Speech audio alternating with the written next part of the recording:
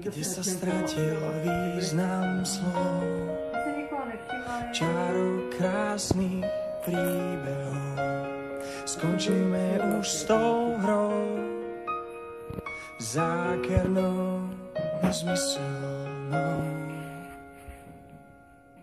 Ničíme vlastný dom, bez úcty spíme v ňom. Keď však ničiť začne zrazu bezradný je každý trón. Aká si krásna, zároveň tajúplná. Aká si krutá, zároveň nádherná. Ty nám dávaš to, čo si zaslúžime. To, kim